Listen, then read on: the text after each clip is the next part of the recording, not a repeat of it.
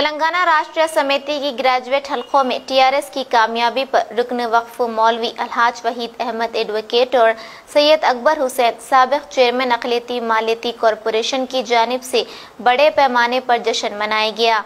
इस मौके पर रुकन वक्फ बोर्ड अलहाज मौलवी वहीद अहमद एडवोकेट ने इस जीत के बाद आवाम का मरकजी हुकूमत और बीजेपी को मुँह तोड़ जवाब दिया है। ये जीत दानश्वर तबके और तालीम याफ्ता अफराद की जीत के साथ आवाम की फतेह है और के सी आर साहब हुकूमत की फतेह और टी आर एस हुकूमत की फलाह बहबूद और वेलफेयर स्कीमात की फतेह है। और आवाम ने कभी उम्मीदवार को नहीं देखा, सिर्फ़ वज़ीर अला के हुक्म पर टी आर एस की फतेह के लिए काम किया। सैयद अकबर हुसैन ने कहा कि आवाम ने के सी आर की कामयाब हुक्मरानी को पसंद किया। इस मौके पर आवाम की कसर तदाद मौजूद थी।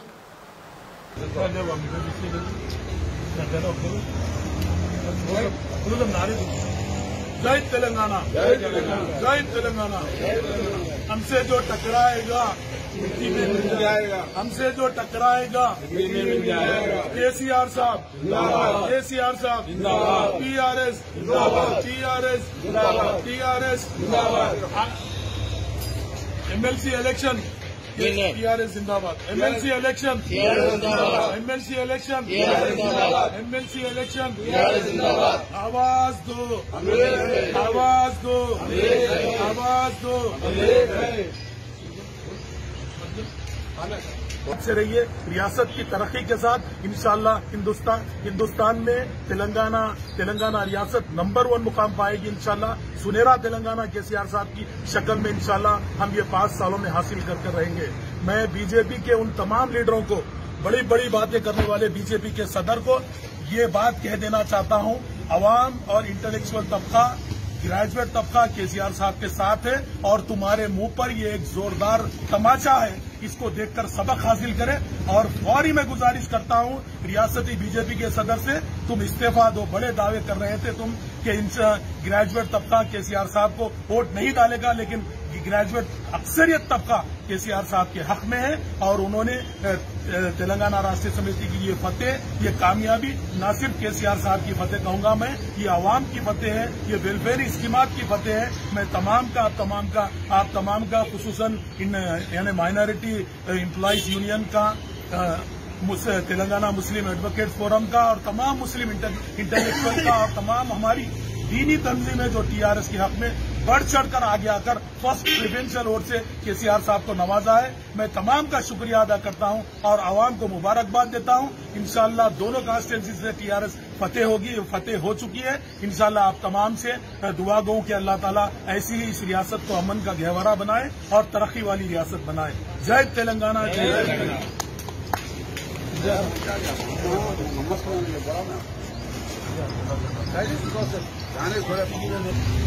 दो बेटे वो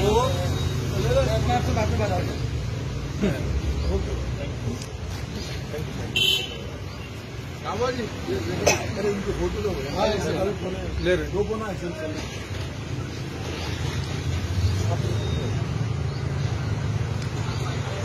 आया बच्चा फ़ोटो मेरा भाई खिला चलो भाई। चलो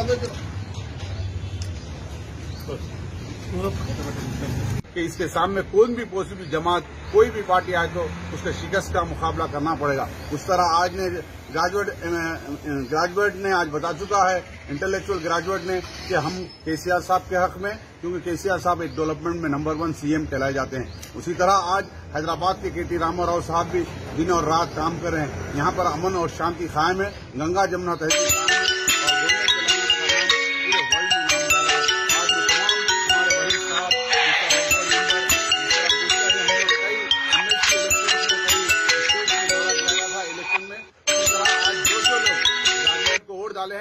उनको तहे दिल से उनका शुक्रिया अदा करता हूँ। और यहाँ पर हम लोग आज खुशी का और जश्न का मना रहे थे। उसमें भी हमारे टीआरएस के उम्मीदवार, टीआरएस के लीडर्स और हमारे कई तेलंगाना के जो तेलंगाना पार्टी को चाहने वाले आज खुशी से एक घर के सामने जैसा जश्न दिखता है, वही आज जश्न रियासती तेलंगाना में हर घर में हर इंसान ने आज मनाया जा रहा है। हम तहे दिल से केसीआर साहब का शुक्रिया करते जय तेलंगाना, जय केसीआर साहब, जिंदाबाद, केसीआर जिंदाबाद। आज अल्हम्दुलिल्लाह, तेलंगाना रियासत के दो कॉन्स्टिट्यूंसी के एमएलसी इंतबात हुए थे। ये जीत न सिर्फ़ तेलंगाना राष्ट्रीय समिति की जीत है, बल्कि ये जीत एक अवाम की जीत है।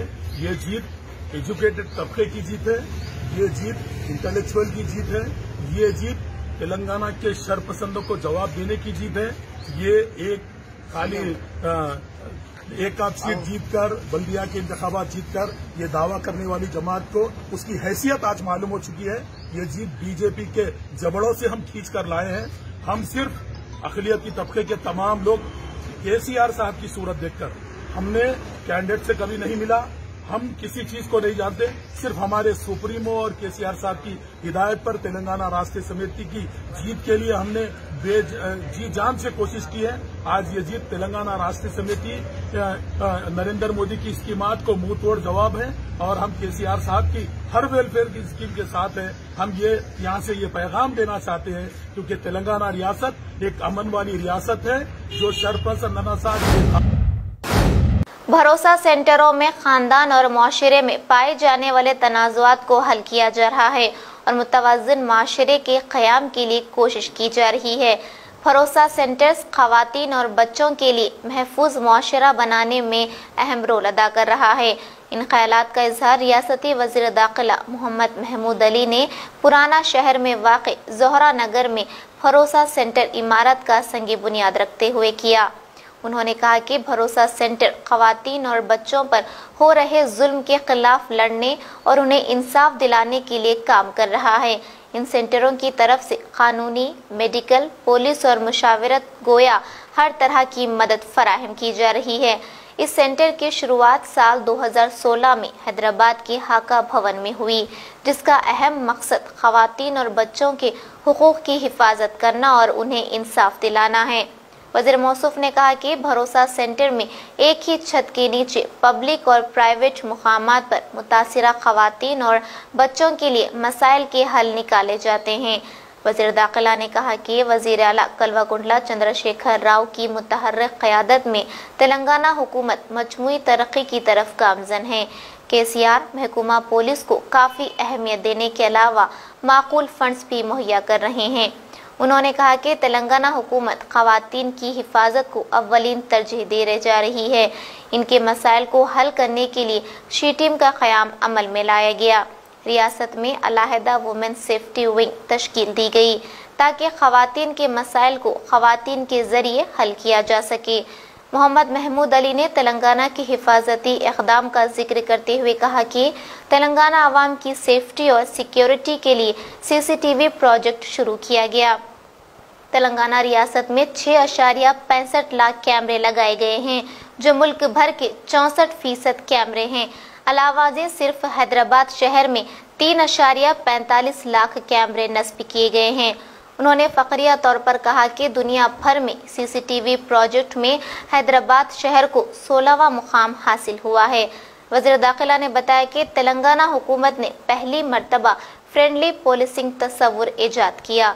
पुलिस स्टेशनों की तजीन आरइश का काम बड़े पैमाने पर किया गया और लोगों की ज़रूरियात को पूरा करने और उन्हें सहूलत फराहम